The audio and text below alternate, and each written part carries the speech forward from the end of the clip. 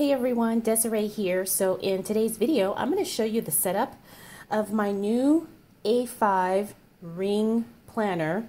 This one is by Agenda 52. I picked it up from Hobby Lobby uh, about a week or two ago and I absolutely love it. It is rose gold and it's got like a soft kind of padded cover. Obviously, I'm pretty sure this is a faux leather.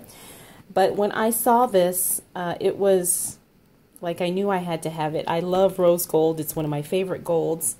And I picked this up because it was on sale. Not that that justifies anything, but hey, I'm just keeping it real. Now this is a very basic setup. When I shared this planner or the binder in the there's a Facebook group that is all about ring planners. I think it's called Ring Snap Ring Planners or something like that. But when I shared this, a photo of this uh, in the group, so many people were curious to see the inside and to see the layout. And I've been meaning to share this, but I was still kind of working on my setup. So I officially moved into this planner in June. I still have some other planners that I'm using, so this one hasn't necessarily replaced anything. I'm just kind of using it because I like it and because it's pretty. So let's go ahead and get right to it. Like I said, this is an Agenda 52 planner. I bought it at Hobby Lobby not too long ago. It might still be there.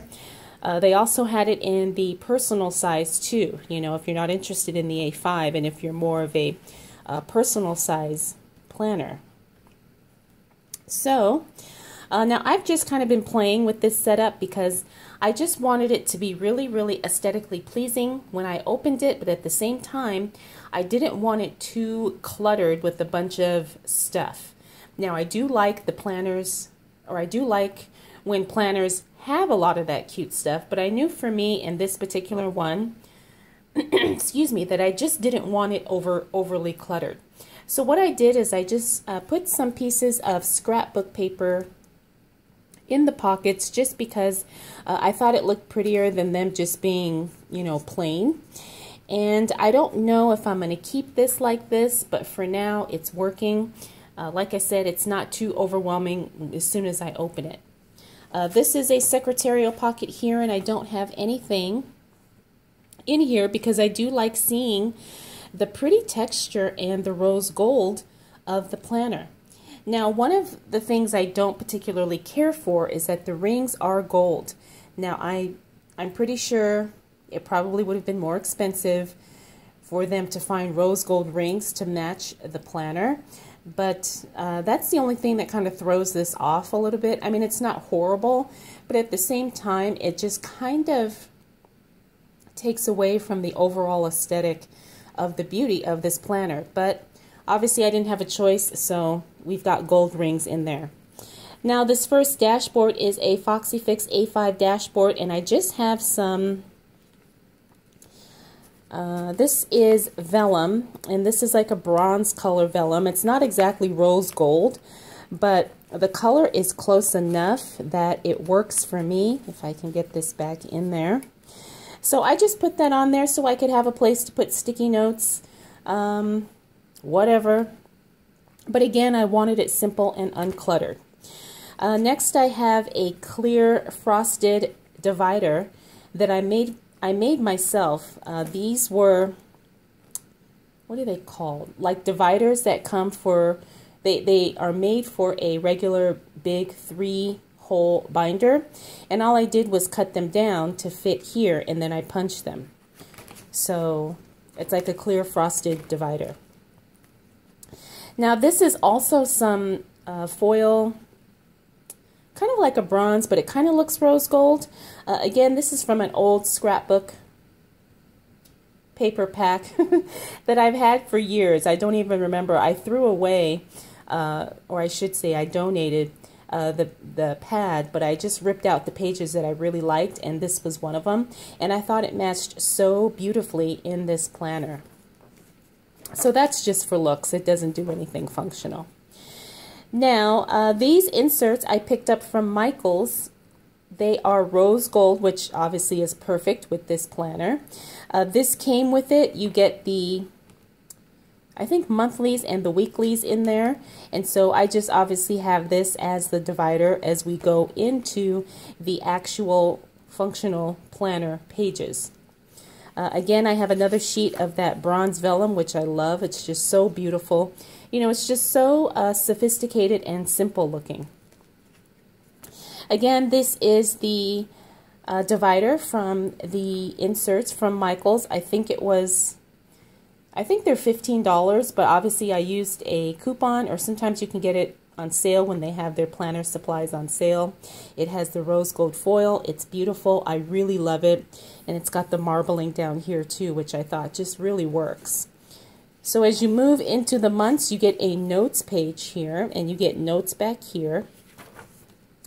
And then what I did, because I had the stickers and I'm trying to use up my stuff, I went ahead and used date dots. I think these are Erin Condren date dots uh, for the month layout because you get a month on two pages, but it's undated, so you'll have to date it yourself. And I just wanted to use these stickers. I know the green really doesn't match uh, anything else in the planner, but I thought it just kind of worked because, again, I just wanted to use it up.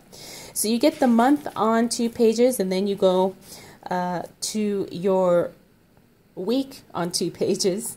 Uh, I started this planner in June and I'm using some Capital Chic stickers from my stash that I just wanted to use up. So uh, you have Monday, Tuesday, Wednesday, Thursday, and then the weekend here. But obviously you could cover this up. Sometimes uh, I like to have the days all the way across, like Monday to Thursday, and then Friday, Saturday, Sunday. So, you know, whatever works for you. There's a lot of uh, flexibility and versatility with these particular inserts. Again, they are undated, so you have complete freedom to make them as you want and make them work for you. Now, I uh, did participate in the BLM Planner Challenge. Uh, if you saw my post on Instagram, I did show this layout, which I'm going to share with you here. But um, the, uh, I guess, idea of the challenge was to date to decorate one of your weeks, uh, recognizing, I guess, with the, a Black Lives Matter Matters theme. And so I wanted to participate in that because I felt uh, really passionate about it.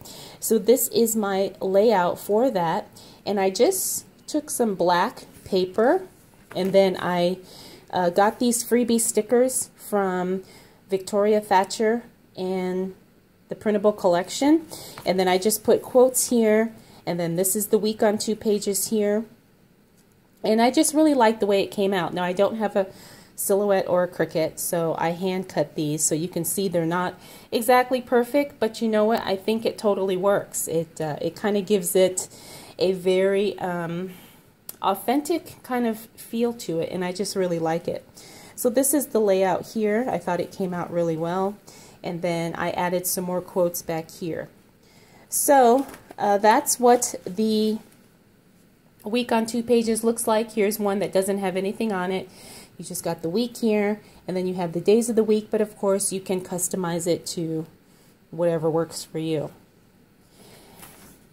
And then we go into the remainder of the months. So we have uh, July, August, September, October, November. I really love how simple these are. And then you have December here. Look how pretty. And then uh, because I started this planner in June, I have the remaining months back here as well. So you've got January, February, March, April, and then May. So uh, that is it for my monthly and weekly pages. Then I have another divider here, and then I have another of that beautiful foil uh, paper just for decorative purposes. And then we go into my notes section. And this is, I think this is lined paper that came with another A5 binder I have. I can't remember.